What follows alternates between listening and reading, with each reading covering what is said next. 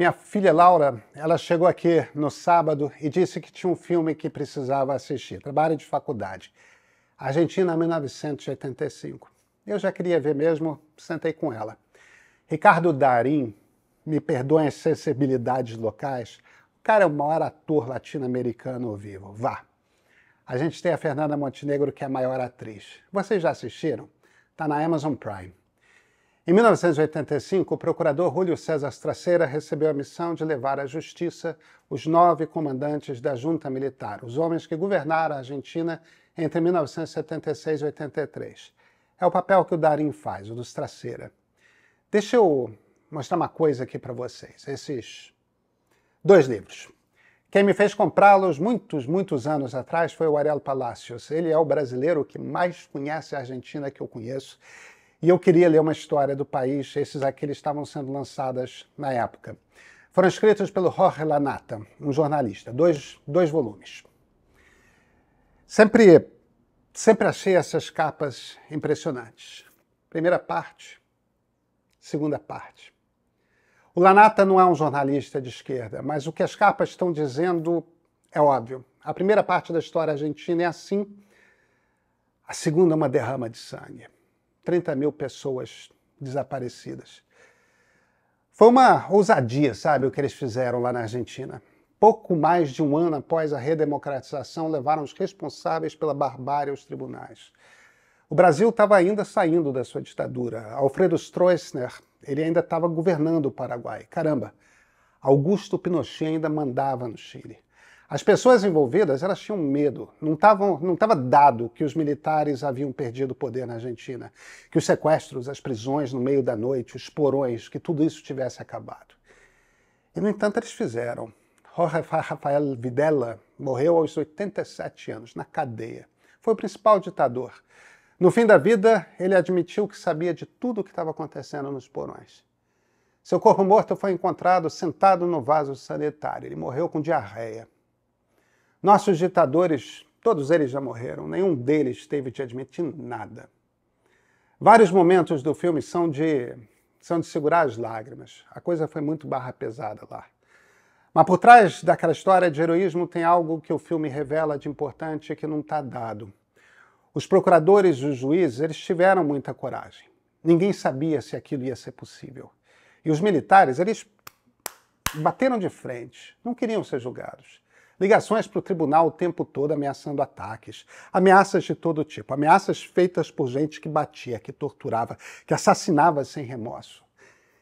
E ainda assim, eles fizeram seu julgamento. Nesse exato momento, no nosso país, tem uma gente vestindo a versão amarela dessa camisa aqui, que está na frente dos quartéis pedindo um golpe militar. Não se conformam com o resultado das urnas.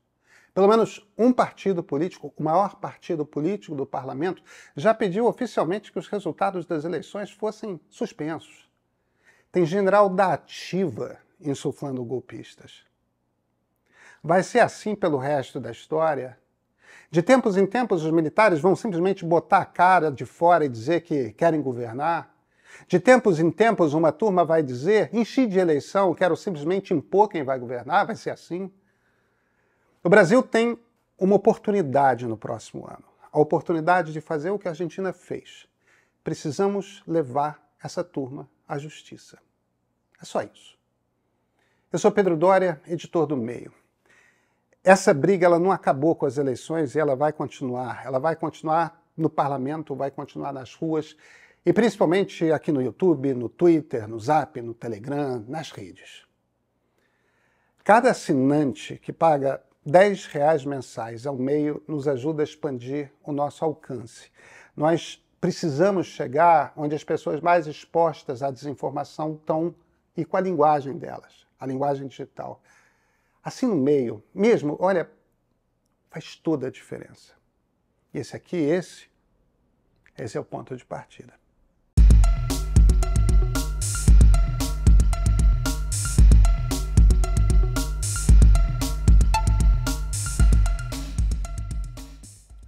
Esses sujeitos de farda, eles usavam na Argentina o mesmo argumento que usam aqui no Brasil a respeito da ditadura, de que era uma guerra. Os procuradores que os processaram não tinham qualquer compromisso com a esquerda. Eram simplesmente advogados e faziam cumprir a lei, era o trabalho deles. Reconheceram que vários dos presos pelos militares eram guerrilheiros e que, sim, alguns desses guerrilheiros usavam violência como método de fazer política. Vejam bem, alguns. Mas não havia 30 mil guerrilheiros na Argentina. Em que lugar do mundo sequestrar alguém é método de fazer guerra? Em nenhum. Em que lugar do mundo amarrar uma mulher num pau de arara é método de guerra? Dar choques, espancar, violentar, amarrar um capuz na cabeça e simular fuzilamento. Chamar os filhos pequenos, crianças, e fazê-los testemunhar a tortura dos pais. Isso é o exército argentino. É o que fez o exército argentino. Isso é o exército brasileiro. É o que fez o exército brasileiro. Esses caras de farda, eles nunca pediram desculpas. Argumentam que havia uma guerra. É só sadismo. É só o exercício da maldade pelo prazer da maldade. Impor sofrimento em seres humanos pelo exercício do poder, porque podiam. O coronel Carlos Brilhante Ustra, evocado pelo presidente Jair Bolsonaro no seu voto de impeachment da presidente Dilma, ele fazia essas coisas. O senador eleito, quase ex-vice-presidente Milton Mourão, ele o considera seu herói particular. Ustra foi seu comandante. Temos uma geração de generais brasileiros, de almirantes, de brigadeiros, que se calam a respeito do que ocorreu, que nos acusam de sermos revanchistas. Não se trata de revanche, não se trata de vingança. Durante meses em 1985, os argentinos foram expostos a mais de 800 depoimentos de pessoas pela televisão.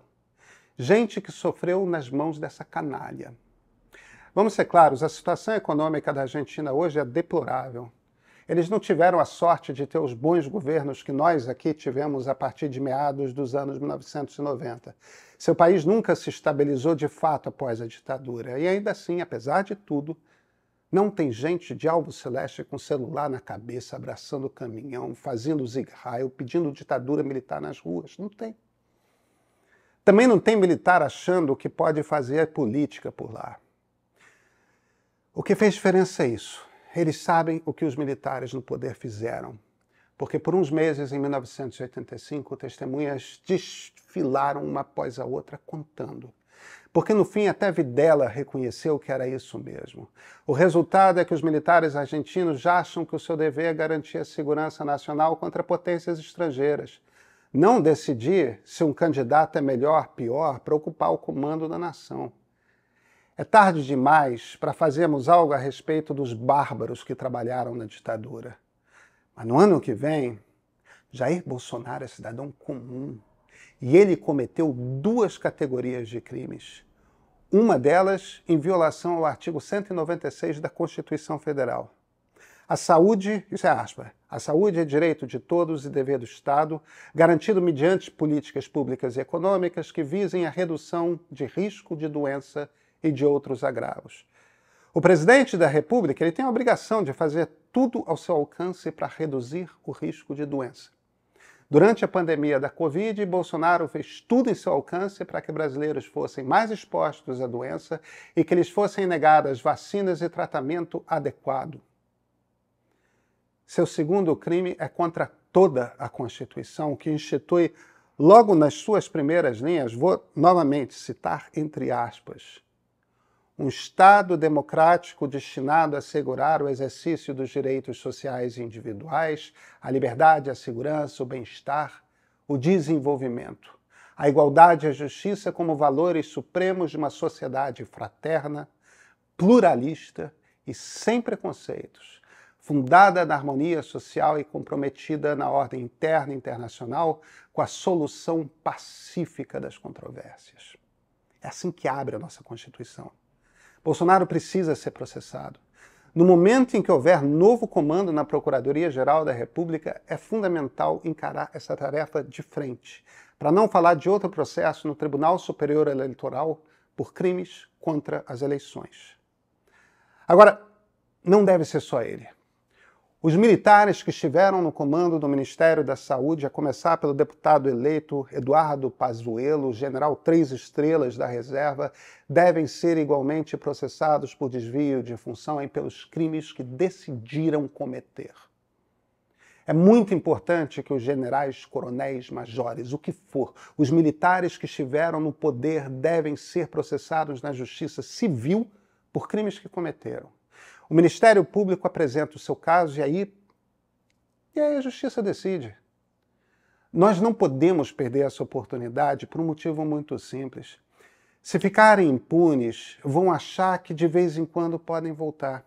E um dia podem conseguir novamente uma ruptura institucional, um golpe de Estado. A gente precisa levar a sério a democracia. Isso quer dizer, neste momento, usar a justiça. Um julgamento público transparente, com pleno acesso ao direito de defesa, com depoimentos de vítimas também em público. O bolsonarismo não é apenas um governo ruim que passou, é um governo golpista. Um governo que trabalhou duro para interromper o fluxo democrático do Brasil e, na sua saída, instalou no meio da sociedade uma célula radical, violenta, histérica, descolada da realidade e com a qual teremos de conviver por não sabemos quanto tempo. Não tem motivo para fazermos uma anistia, para fingir que nada de estranho aconteceu. De Argentina 1985, que façamos um Brasil 2023. Tem um comentário da Ana Paula Leme de Carvalho que me dá um bom gancho aqui. Pedro, acompanho o meio há pouco tempo e posso dizer nunca me preocupei com política.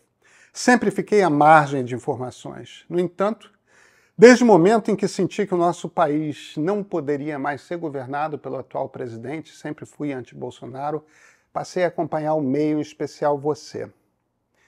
É, Ana, eu vou pular os elogios. Você é muito gentil, mas tem uma oportunidade aí no seu início de comentário.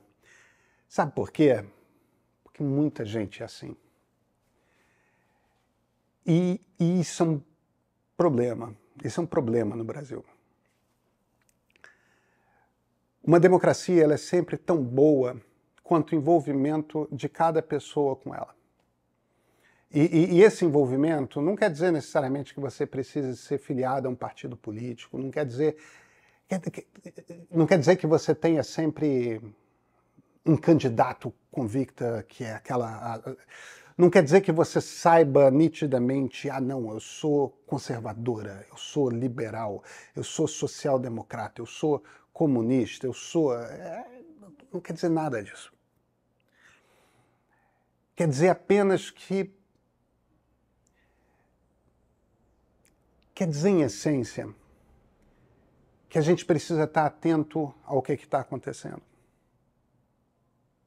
quanto mais pessoas, quanto mais pessoas no Brasil tiverem atentas, o que, que o Congresso está apurando esse? O que, que, que eles estão aprontando esse ano? O que, que eles estão fazendo?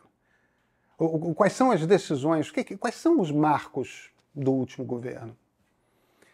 Entende? Quanto mais pessoas estiverem prestando atenção nisso, melhor é a democracia. Isso não quer dizer que as pessoas vão concordar, não. Na verdade, quanto mais gente se preocupa, mais as discordâncias vão ficar evidentes, porque vai ter gente que vai gostar de coisas e vai ter gente que não vai gostar de coisas. Isso é super normal. O motivo pelo qual a gente rodou é que uma quantidade imensa de pessoas que estava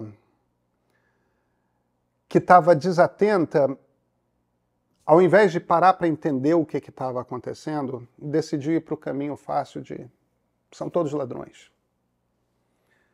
Mas por que, que há corrupção? Por que, que a justiça não funciona? Por que, que quer dizer, em, em vez de ser um processo de putz, tudo bem, temos um problema aqui. Esse problema está nas regras do jogo. Como é que a gente conserta? Em, em vez de ser uma discussão racional, virou virou um processo antissistema, em essência. Virou um processo. É, é quase como se as pessoas estivessem dizendo: o problema está na democracia. Se tivesse alguém com mão de ferro, tudo resolvi. Não, pelo amor de Deus, tudo não resolve. Quanto mais poder você dá para uma pessoa, maiores os espaços de corrupção. Quanto mais violência você tem numa sociedade, mais violenta aquela sociedade será. Violência gera violência. Corrupção gera corrupção. Poder em excesso gera corrupção. É, é... Então, o bom é a gente ter, é, é, e essa é a lógica da democracia, grupos se alternando mesmo. Mas para a gente ter esse processo de alternância de grupos no poder,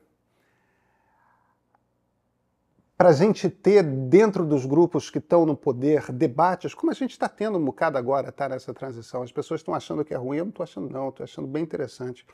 Quanto mais você tem esse debate, tá, mas o que, que é o melhor? É um caminho assim ou um caminho assado? O que, que a gente tem que fazer aqui? E quanto mais gente está acompanhando esses debates, cara, quanto mais gente forma opinião, não, não, não é muito. E tem tantos caminhos. Você pode abrir e ler um jornal. Você pode assistir um vídeo aqui no YouTube. Você pode acompanhar por uma rede social desde que você saiba quem que você está acompanhando. Entendeu? São jornalistas, são políticos, são cientistas políticos, é, são pessoas que, que têm de fato algum tipo de autoridade, ou são pessoas que estão simplesmente tentando te convencer de que um lado é bom e o outro lado é mal. Qualquer um que esteja tentando te convencer, um lado é absolutamente bom e o outro lado é absolutamente mal, é, qualquer um que esteja tentando te convencer disso, provavelmente é um mau conselheiro, porque não é uma disputa entre quem é mal e quem é bom, mas neste caso específico, quais são os melhores argumentos para defender uma determinada posição. A gente precisa conseguir retornar a esse debate político baseado em argumentos. Tá? E, e, e com mais baseados esses argumentos forem em ciência, né? em pesquisa, em estudos, em, em análise de políticas públicas, aí só vai melhorando. E, agora, para que isso funcione, é preciso que a sociedade cobre esse tipo de argumento. Então, o que a gente tenta fazer aqui no, no YouTube, através do meio, é isso. É, olha, o que eles estão discutindo é isso. Os, os argumentos postos são esses. Por que, que esse caminho é, é, pode ser interessante, esse caminho talvez não seja? E, e, e eu e vira um troço rico, porque você vê, você desce aqui mesmo na, na janela de comentários, vai ter um bando de gente, por exemplo, quando eu acho uma determinada coisa, discordando de mim. E, e vira uma discordância interessante, porque como eu construí os argumentos, as pessoas podem desconstruir os argumentos e vira um diálogo e vira um debate. E fazer parte desse debate acaba sempre te levando para um lado ou para o outro, não uma coisa absoluta, mas uma coisa é, eu prefiro ir por aqui, outro vai preferir ir por ali e, e não tem problema. O importante é o debate, o importante é a conversa. O, o importante é que a gente, todos nós, tenhamos um espaço para o futebol, um, um espaço para o cinema, um espaço para a namorada, para o namorado, mas um espaço de tempo também para aquele momento ali do dia, da semana em que a gente dedica a o que está acontecendo no meu bairro, na minha cidade, no meu estado, no meu país. Para que daqui a quatro anos eu tenha uma opinião a respeito de em quem votar, mas uma, uma opinião mesmo do tipo, eu tenho uma tese sobre o que está acontecendo errado. E, e, e, eu acho que essa pessoa aqui, é, essa candidata, esse candidato, melhor entendeu e melhor definiu os problemas que a gente tem. A gente só vai ter uma, uma sociedade realmente democrática quando a gente tiver um alto engajamento. E, e, E esse ambiente digital aqui é um, é um lugar que tem potencial, sabe? Apesar de tudo, tem potencial de disparar esse engajamento. É só a gente parar de ser maniqueísta, não é? Obrigado. Muito obrigado mesmo pelo seu comentário.